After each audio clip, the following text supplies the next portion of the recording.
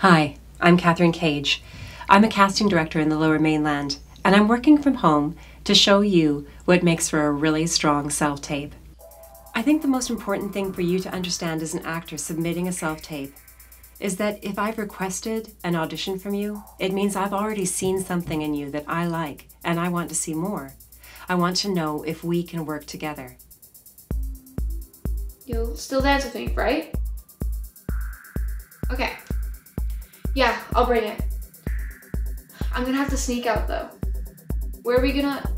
Oh, oh wait, my mom's coming. That's fantastic. I'll meet you at your place later. I mean, I, I believe exactly what's happening. I believe everything that's happening that she's doing. I'm actually getting a little bit of goosebumps because I'm, I'm so impressed with how much stronger this scene was than the first one. This time, I'd like to talk about genre. Let's get started. So this actor obviously has got a really nice comic timing. She's got a lot of um, quick changes, which is a comedic tool for, for a comic character. Uh, the things I'm not sure about is did she know she was going to have this confrontation when she came into the room? Did she have all these arguments pre-planned, pre-organized? And think about what your stakes are and what you're going to lose so that we can feel the heart of this character.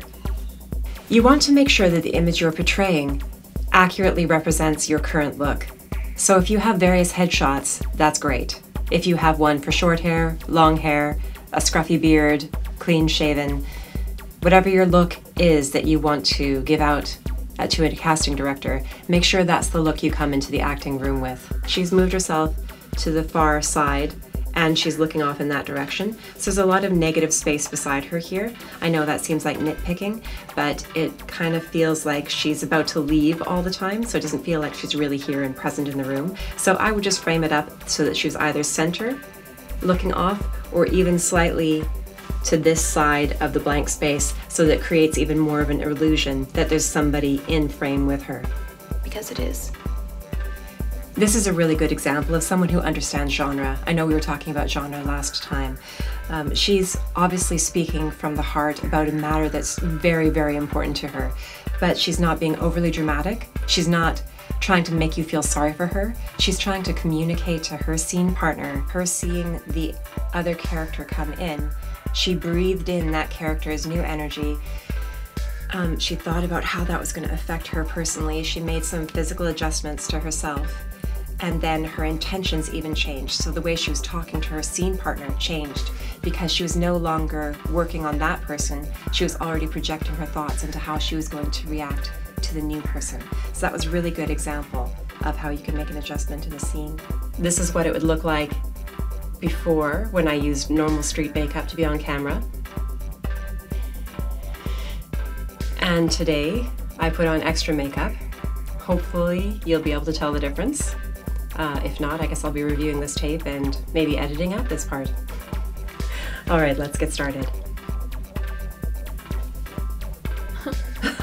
She's putting on makeup. Oh, Wonderful. But if you're going to impress a casting director, it's nice to show a piece with a beginning, a middle, and an end where we see the character transform. Most of us in the lower mainland are working for an American audience when we go to our auditions. So it's really important for you to de- develop a really strong and convincing American dialect. And then he looked at the person he was talking about. He was referring back to the person he was originally talking to. And then he started addressing the larger room. So he started addressing all the other people in the room. So I'm starting to get a really clear picture of where this character is. The thing I do have a question about is what is his status compared to the person he's talking to? A force like it, it like it shines through from behind. So this kind of of a kind of a menacing, hulking energy. Right now, it's very calm and it's very laid back, but I don't.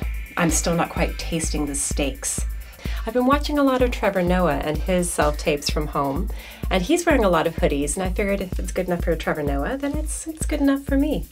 You might want to start looking up different ways that people connect text in safe ways because another problem with working um, such dark and deep text with such difficult subject matter is that you can get really in your head about the subject matter you're pursuing. So it's really important to keep yourself safe as an actor from the material you're delivering.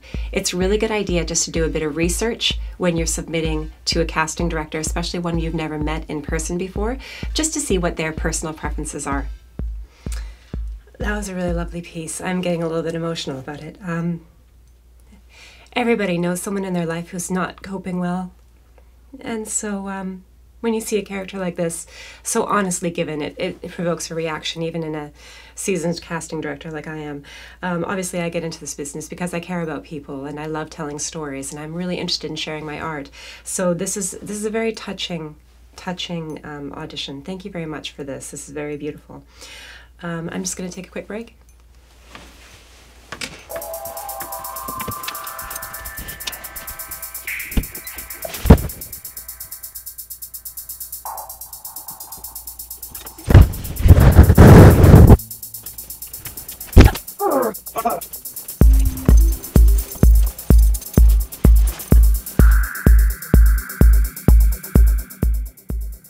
I would actually ask for a bit more compression.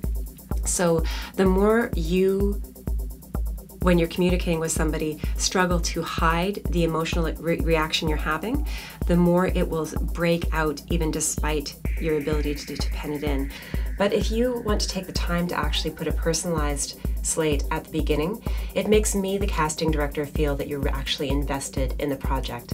It also gives me a really nice snapshot as to who you are, what your baseline is, especially if you're doing a big character or comedic character or even a serious or dark, moody character.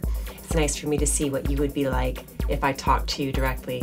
And I will admit he's creating a lot of nice intensity in his character by taking his time, by creating blank and empty space that nobody else dares to fill. So that's kind of nice. It gives him a lot of status in this group. And then when he ramped up, he moved forward a bit and he never receded. He never sat back again, which is nice. These tiny little snapshots are a nice way to show me she's dedicated to her craft and that she's getting herself out there and she's trying to get some work get some work done.